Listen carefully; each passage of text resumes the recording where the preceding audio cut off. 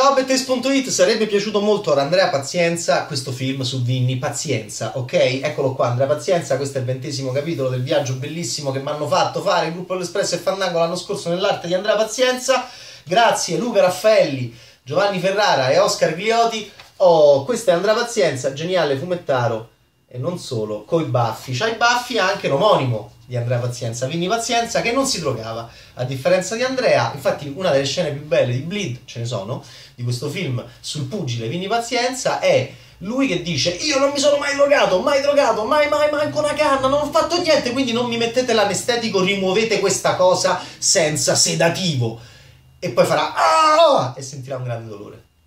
E vedremo i dettagli di viti tolte dalla testa di quest'uomo e messe nell'acqua col sangue, mi piace sempre.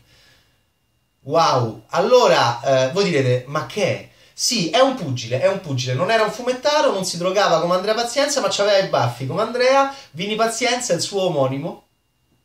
Pugile nato nel 1962, questo film, Bleed, di Ben Younger, un chilometro da Wall Street, Uh, non male quel film. Uh, ben Younger è uno che lavora poco, Prime anche, non male quel film. Terza regia come Kenneth Lonergan, grande autore di Manchester by the Sea, vincitore dell'Oscar per miglior sceneggiatura originale. Ben, pure te, lavora un po' di più perché sei un bravo regista. Bleed è un film sulla box, è un film sul boxer, ma forse anche qualcosa di più. Perché? Perché Vini Pazienza, The Pasmanian Devil, Vini Pazienza, Paz, anche lui si faceva chiamare Paz come Andrea Pazienza. Vini Pazienza, di chiare origini italiane, era un pugile che eh, non solo passò dai leggeri ai medi come categoria, perché incontrò un allenatore molto in gamba, interpretato da, da Aaron Eckhart, che di nuovo torna come in Salli nel ruolo della grande spalla del protagonista. Si sta specializzando Aaron Eckhart, no? A, quel, a quella chiusa meravigliosa nel film di Eastwood con quel sorriso da cagnone e quella grande battuta. Qui Aaron Eckhart ancora è molto forte nel ruolo di Kev, con la panza pelato, incontra Vini Pazienza in un momento della vita di Vinny un po' così e gli dice perché non aumentiamo la categoria? Vinny gli fa ma io sono sempre stato leggero, ho vinto tutti i titoli da leggero e Kev gli dice e io la prima scopata che ho fatto l'ho fatta nel parcheggio della scuola, che devo fare? Ogni volta che faccio l'amore adesso devo tornare al parcheggio della scuola. Battuta stupenda e già da qui, già da qui è, è molto molto molto divertente. Ehm, eh, Esatto, dovrei portare lì mia moglie adesso, e, nel parcheggio della scuola.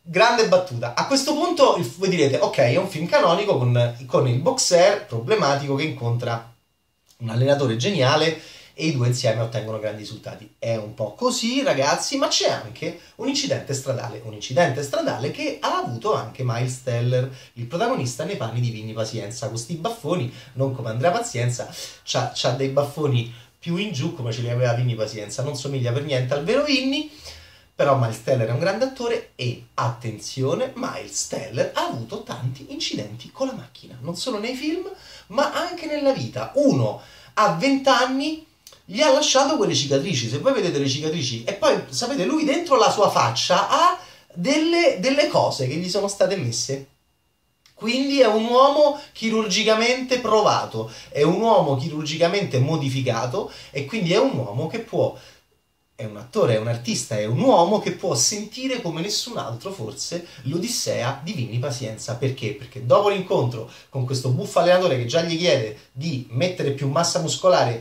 e aumentare i, la, la categoria e quindi passare da leggeri a medi e Vinni già fatica ma insomma accetta sta roba eh, ci sarà un incidente automobilistico gravissimo. Oh, mh, mm, io detesto le, quanto sono telefonati gli incidenti automobilistici. Tra i più telefonati eh, che ho mai visto, quello di One Day di Lon Sherfig, che non perdonerò mai a Lon Sherfig, di Anne Hathaway in bicicletta, una cosa, una cosa devastante.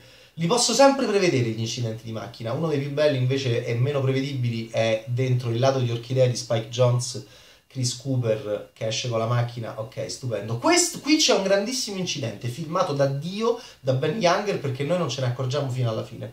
Quindi già complimenti per aver superato un cliché, soprattutto con un bastardo come me che appunto ormai ho il radar e, e, sento questi incidenti soprattutto quando ci sono le persone col motorino, con la bicicletta, li posso prevedere 5 anni prima. Invece qua mi hanno fregato del tutto, quindi c'è un grande incidente. Vinny fa il botto come Miles Teller e gli mettono l'alo. L'alo che si chiama un po' come me, ma non è il videogame, è una gabbia di ferro, è un collare di ferro perché lui si rompe il collo. Quindi diventa una specie di Frankenstein, diventa una specie di mostro. Mi piace molto, eh, diciamo, è terribile inquadrare un, questo tipo di corazza, questo tipo di, questo tipo di, eh, di cura, eh, di collare, è incredibile inquadrarlo nel 2017 perché tu senti il ferro, tu vedi il ferro e quindi è già anacronistico rispetto a oggi. Infatti, se vedete anche le immagini vere di Vini Pazienza, è, è inquietante. È inquietante nel film ed è, devo dire, perfetto uh, vedere Miles Teller come si integra in un film del genere. Peraltro, ci sono molte citazioni ovviamente anche del maestro Scorsese, non solo per Toro Scatenato, ma più anche per Wolf of Wall Street, eh, certi tipi di slow-mo, certi tipi di scopate che non vi dico, su certi tipi di letti. Però eh, devo dirvi che questo film è molto interessante perché Miles Teller è un grande attore, è il protagonista di Whiplash, ma non solo, sta anche in Divergent ed è lo scoprì John Cameron Mitchell, il quale, il grande John Cameron Mitchell, regista di Short Bus e Edwig, il quale Mitchell disse quando Miles era giovane e non riusciva a trovare i ruoli, gli disse eh, mi piacciono le tue cicatrici, in quelle cicatrici c'è qualcosa. Piacciono molto anche a noi. Miles Teller è un attore che porta una disgrazia sul corpo ed è per questo che è, è perfetto per un certo tipo di personaggio e si sta molto imponendo eh, dentro questo cinema della contemporaneità di fatica e di disagio e soprattutto di disgrazia o di eh, corpi sgraziati. Miles riesce molto bene a comunicare questa roba qua. Perché? Perché ce l'ha proprio queste cicatrici. Quindi è fantastico nel ruolo di Vini Pazienza, The Tasmanian Devil, che gioca con il, il diavolo della Tasmania, non solo l'animale, ma anche il personaggio dei Looney Tunes.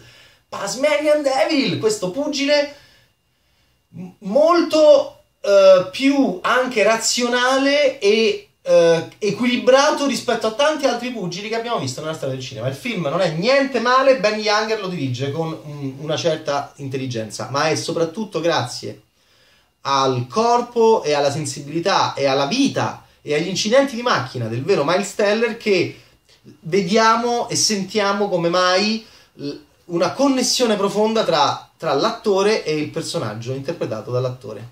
Bleed, Ben Younger. Sarebbe bello che eh, questo regista lavorasse di più perché è un regista molto sofisticato e, e, mai banale, ok? Anche dentro un genere cinematografico come questo che è pieno di cliché, dai montaggi alla Rocky, a, al, al, al, a, ovviamente al vertice emotivo ed espressivo finale, al macismo, alle donne, al, a, al circo della box, però è tutto visto e tutto raccontato con grande intelligenza e classe registica.